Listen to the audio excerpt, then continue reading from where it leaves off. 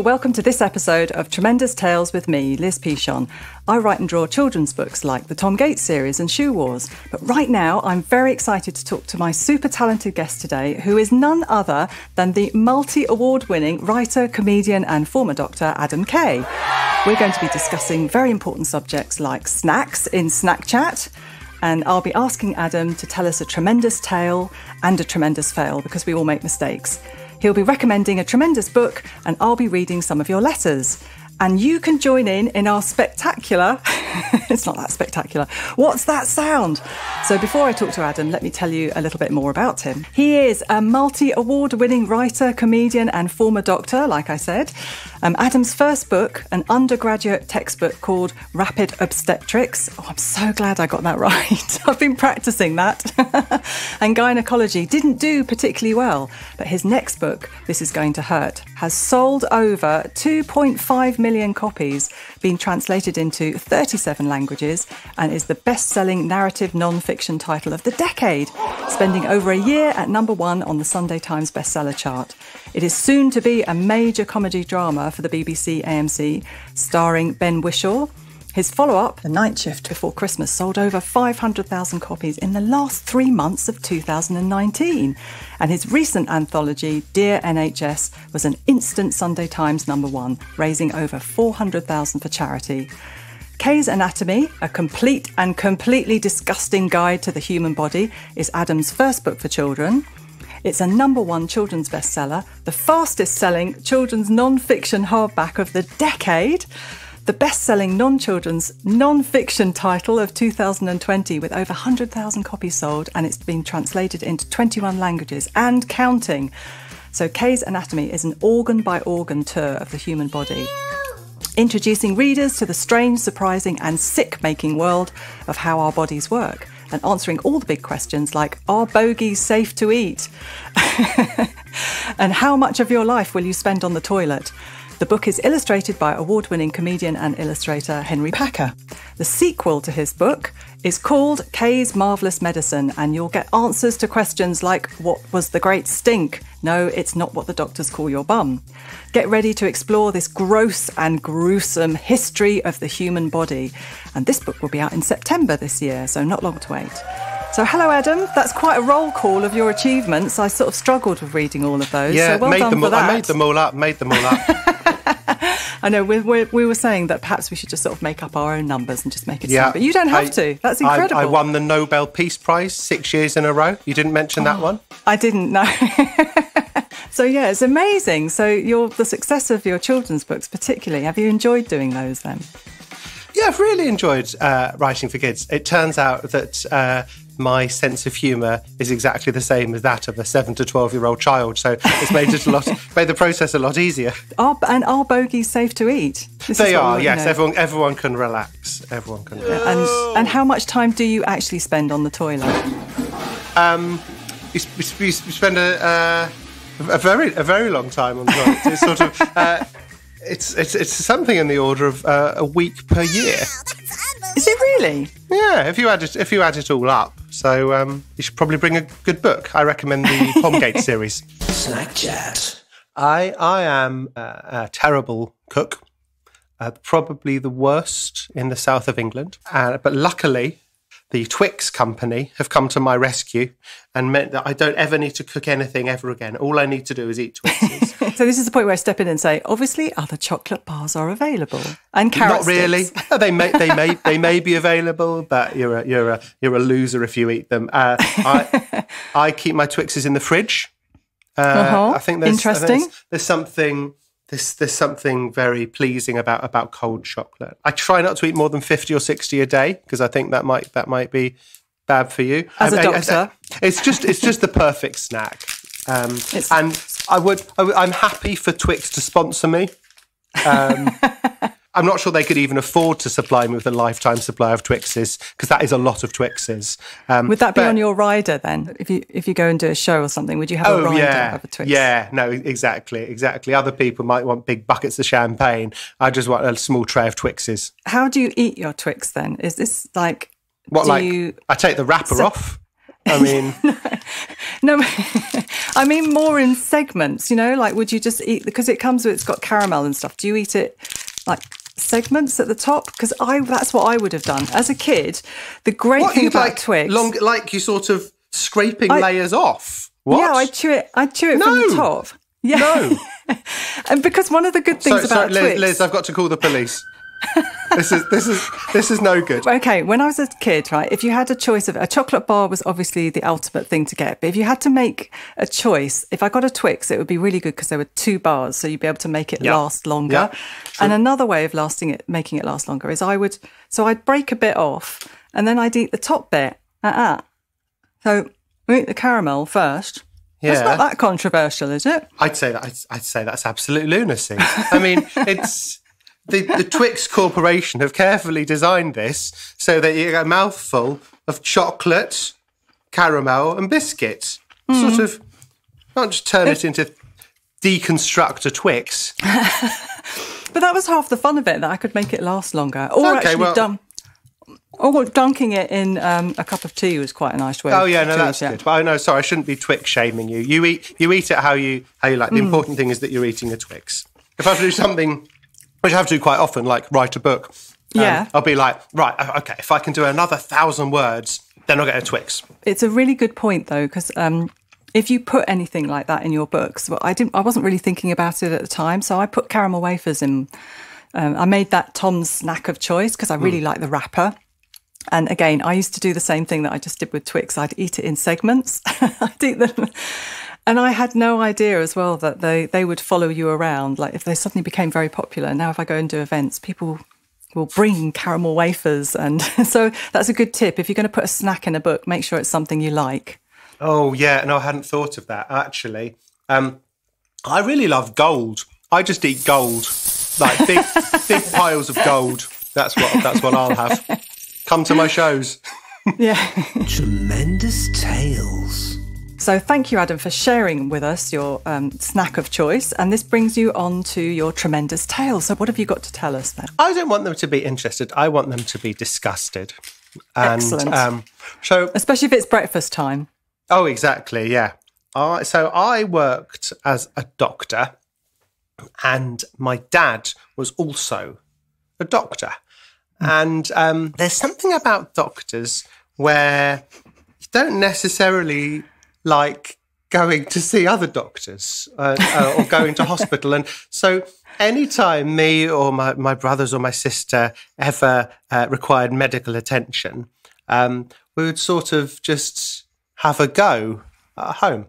And which I thought was totally normal because you think everything that happens in your family is totally normal. And then eventually you speak to other families, you're like, oh, no, that wasn't normal at all.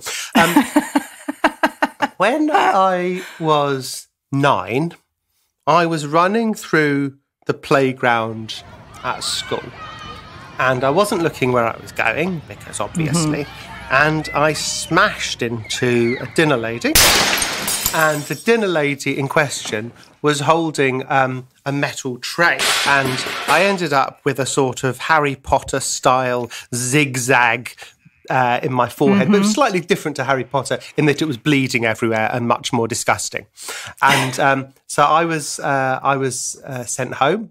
Not by punishment, but it was sort of, it was, I think everyone at school was freaking out a bit. Was there any kind of medical attention at all? Or were you just sent home clasping a, a gaping wound? I imagine someone someone put a wet flannel on it or something, and went home. And uh, my, my dad cleans it up a bit, and he said, "Do not look, do not look at your at your head." So obviously, And of course you're going to look. And I uh, had a, a quick look at my at my at my head uh, in the mirror, and uh, I could see my skull. And uh, that's a part of your body you're just not meant to see. And uh, and my body responded to this by immediately fainting. And Yeah. uh, eventually uh, woke up and, and, and uh, to my dad sewing up my uh, sewing up my my head. Um, and I've carried this idea of sort of sort of DIY medicine with me um, through my through my life. And I was at I was at university, and I was aged uh, the en- enormous age of 21 years old, and I was training to be a doctor, and I was cycling home from from uh, my lectures. And uh, and I slipped on some ice and I landed on the ground and both my arms hurt quite a lot and they hurt too much. I'm laughing, but I shouldn't. no, you're very cruel. You're a famously cruel person. Um, and and and I and my head hurt so much I couldn't uh, I couldn't really I couldn't really um, cycle anymore. So I pushed my bike um, back to my back to my to, to, to my flat, and and then I couldn't open the door because it hurt too much. Anyway, I ignored this until the morning, and in the morning I, I noticed that one of my one of my elbows seemed to be pointing the wrong way, like sort of you know, Yeah. can't see on a podcast. It was like going out the wrong way. And so I phoned, phoned the cleverest person I knew in my year at medical school to say, can you dislocate your elbow? Because I know you can like dislocate your shoulder, which means it pops out of its socket. But can you do your elbow? And he said, I don't think you can. I don't think it's that sort of um, joint. Um, turns out after after another day of muddling along that I had broken both of my arms. And I went and I got my x-rays and then they they, they put me in in plaster in both in both of my arms. And um, I really, really recommend only breaking one arm at a time. Eh, Actually, I recommend not breaking your arms at all because it turns out um, if you break both of your arms, you can't eat anything. Uh, and you require other people to feed you Twixes, and also you can't uh, wipe your own bum. What we're going to do now is play you a little snippet of what's that sound to see if you can identify what this sound is. And you can listen at home and see if you can guess.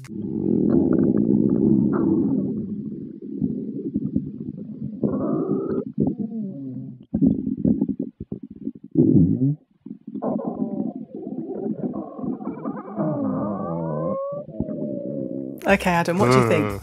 Well, it sounds a bit intestinal. Is that someone putting a microphone on my tummy when I've not had a Twix recently?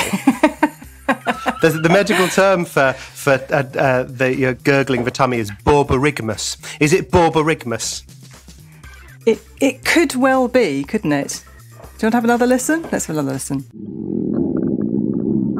Oh.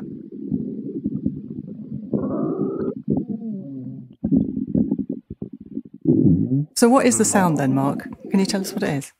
Adam is absolutely correct. It is a stomach gurgling. Yes! Yes! Well 85. I win the 85 million pound prize. You do, and a Twix. Excellent. And a Twix. I spend it all on Twixes.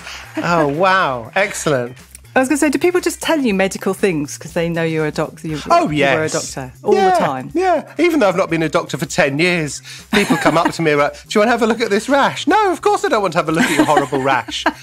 No one wants to look at a rash. No. But in a way.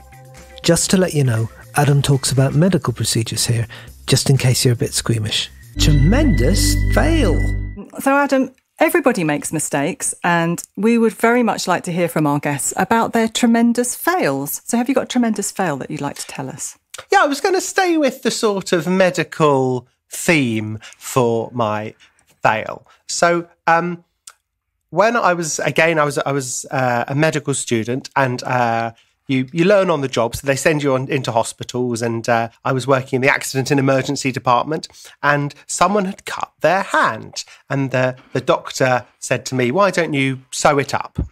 I was like, okay, fine. And I and I'd read in my textbook how to do it, and I went to sew it up, and I looked at the blood, and I fainted. Donk. So uh, I seem to do a lot Again. of fainting in these stories, don't I? I'm just quite a fainty person, and uh, and that was that. Turns out um, I'd. I'd, I joined medical school to become a doctor, and I was really afraid of the sight of blood, so much so that I fainted.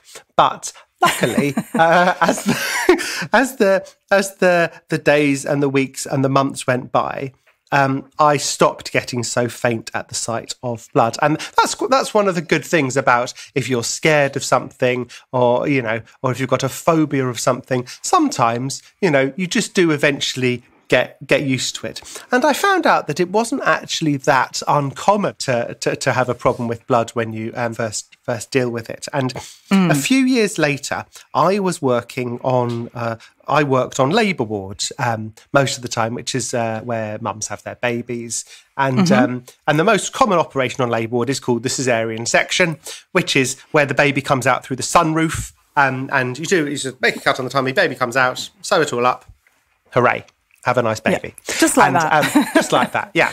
And um, it takes two doctors to do an operation. The patient's lying there. There's one on each side of the of, of the patient. Um, one one doctor's doing the, most of the cutting and the and the everything, and the other one's just sort of passing you things and pulling things out the way and whatever. And I was I was doing this operation, and a medical student was helping me, and um, I delivered the baby giving it off to the mum, and I was just sort of sewing things up afterwards, and the medical student fainted and fainted face first Oh, no. into the operation, uh, which was. Uh, That's which not is- ideal, really, is it? no, it's not ideal. Uh, it was very embarrassing for him when he eventually um, woke up. Had to do a lot of apologising to the to the to, to the patient. Um, Yes. but yeah. So I had I had a sort of a relatively tremendous fail, just fainting um, uh, in an A and E department. But at least it wasn't as bad as this as this poor guy who fainted literally into a into a, a patient's open operation.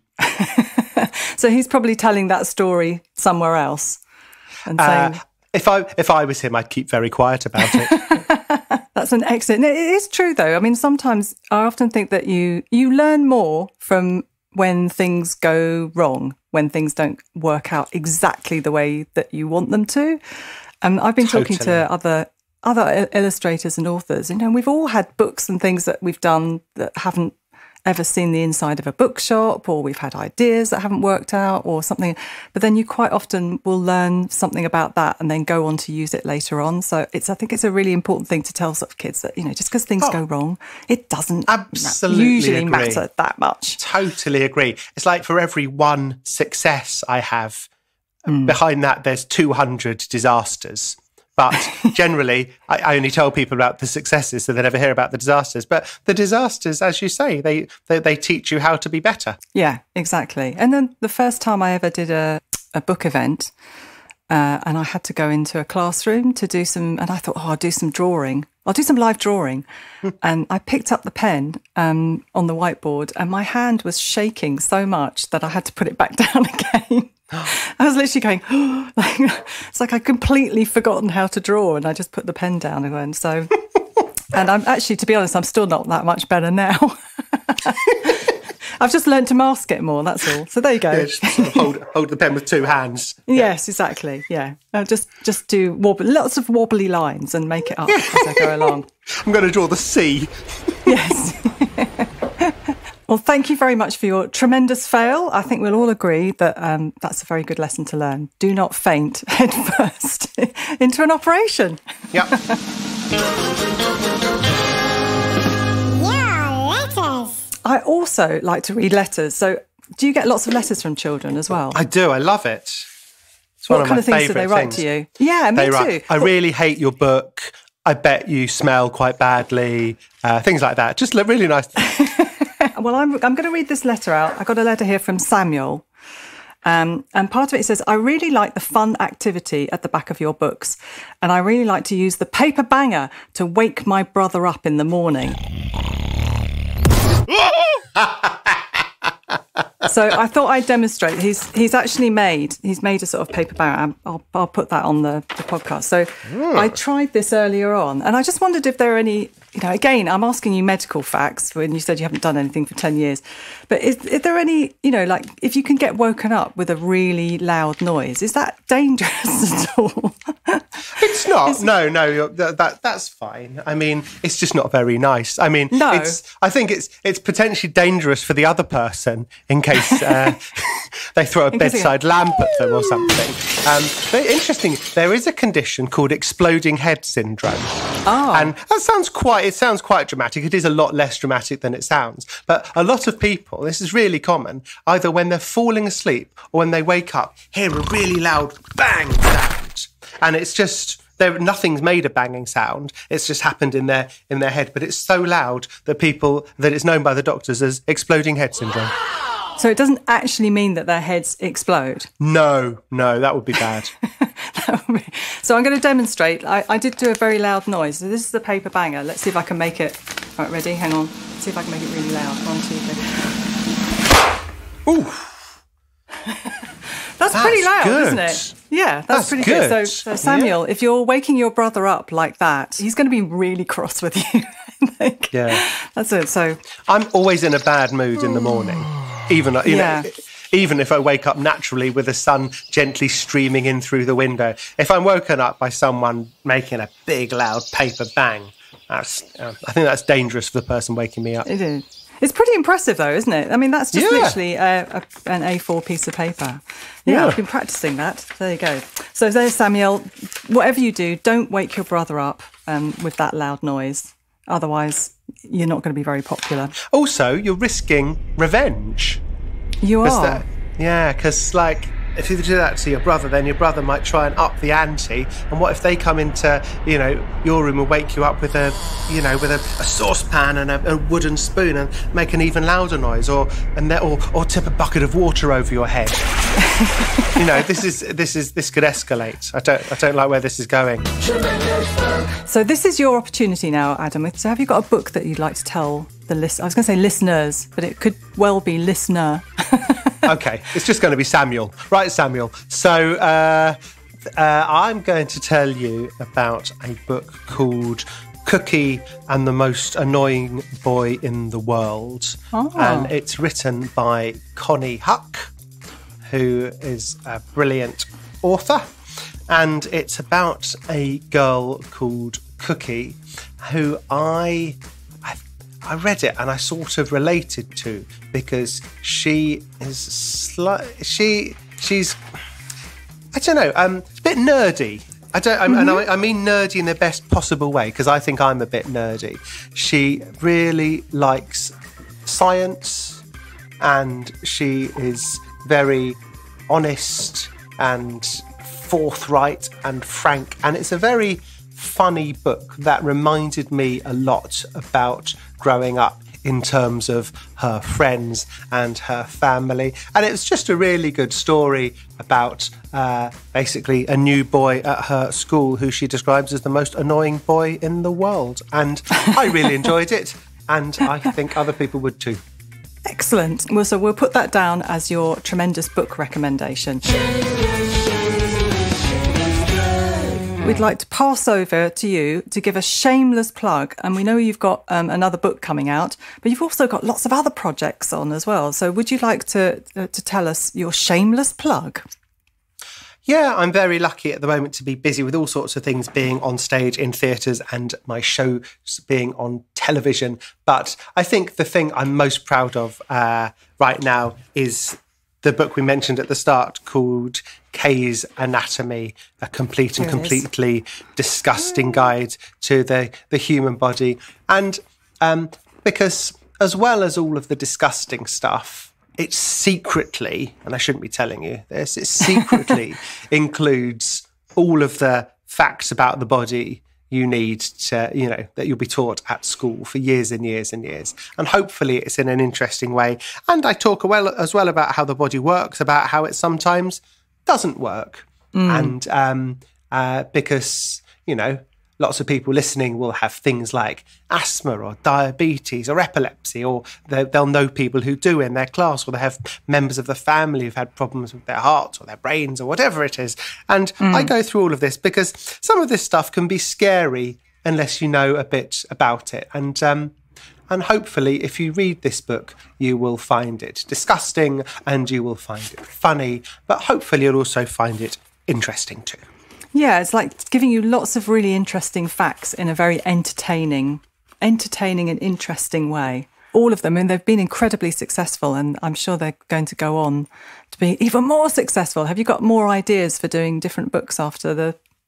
I do. Your next one? Yes, that's something I'm thinking of at the moment. Although I am, I'm still finishing off, putting the finishing touches to Kay's marvelous medicine. And anytime I speak to my publisher about the next book, they're like, "Do you want to just, do you want to just finish this one first? I'm like, "Okay, fine." I think the most exciting part of writing is often coming up with the ideas in the first place. That's one of the best bits. I love the coming up with the ideas bit, and I love it when the books are on the shelves and people are reading it, and I can hear what they think about it, unless they hate it. Um, and then there's the annoying bit in the middle when you actually have to write How do you enjoy doing events? Has that been? I'm I sure love events, I and bet. I've I've missed doing them a lot because obviously it hasn't been possible to do things in in person, and um, um, it's been you know it's been it's been all right doing things over Zoom and online, but Hmm. it's not as good as actually meeting your readers face to face and them asking you questions. And uh, but um, yeah, I, lo- I, I love it. You you write for people to read, Mm-hmm. and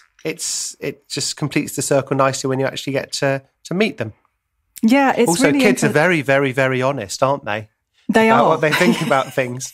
oh yes yeah absolutely and sometimes i suppose you know when i'm when i'm doing my books because i've done um so many of them over the last few i mean i've got I, I reckon i've got a certain amount of information that i can keep in my head and as soon as i've finished one book and i've closed it and i've put it to one side and i'm thinking about the next one i almost forget what's in the one i've just done you know, you're just you're just moving on to the next one. So kids quite often know more about the books, and they'll ask me questions about the characters or what's happening. I had this one little boy that asked me about a character called June. What's happened to June? And I was like, June? oh, I've forgotten about that. Although somebody was I was drawing something, and one kid asked me, "Draw Bandit." I could not remember what Bandit was or what it was at all. So they ah. quite they often do. They rem- they Were absolutely. you, were you a bit lot like, more. oh, sorry, I've just got to, just got, I've just got a text message I've got to reply to, and quickly googling a, a picture of what you've drawn. That's what think I- doctors do. If they, if a doctor ever says, "Oh, could we get like a urine sample or something?" That's generally to get you out the room so they can quickly Google whatever you've got wrong with you. They're googling disgusting rash on nose, and then they, they Google that. So when you come back with the urine sample, like, why does he want a sample of my wee? And you come back and they go, "Okay, I know what cream to give you." I'm laughing, but scarily, that's probably absolutely true, isn't it? Certainly, what I did. Yeah, But it's okay. You're not a doctor anymore. So that's true. Everyone's safe. thank you so much, Adam. You've been absolute delight to talk to. Um, you've Thanks given for us having me. loads of your time, and I've got one more thing that I would like to give you. So when children write into me, I quite often give them a, a red Tom Gates badge for um, something that they've done that's creative, and then we've got other badges as well. And I thought, in recognition of all the work and the, mon- the money that you've raised for charity as well, that we are going to give you a blue Tom Gates badge, which will be winging its way No towards way. you. Yeah. Thank you so much. I will wear him with pride. So we're going to hand that over to you, and, And um, my and my nephews and nieces who very much love Tom Gates will be tres jealous of me. oh, will they? Oh, They will indeed. Adam, thanks again for being such a fantastic guest. And I'll try and help you to keep your top uncle status intact. And I'll send your nephews a little Tom Gates something as well. So if you've got a tremendous tale at home that you'd like to share with me, please do go to my website, lizpichon.com, where you'll find all the details of how to get in touch. And just a quick reminder that Adam was a doctor, so make sure that you don't go trying to stitching yourself up. it's not a good idea. and you still need to eat your vegetables as well, not just chocolate. So thank you for listening, and until next time, bye.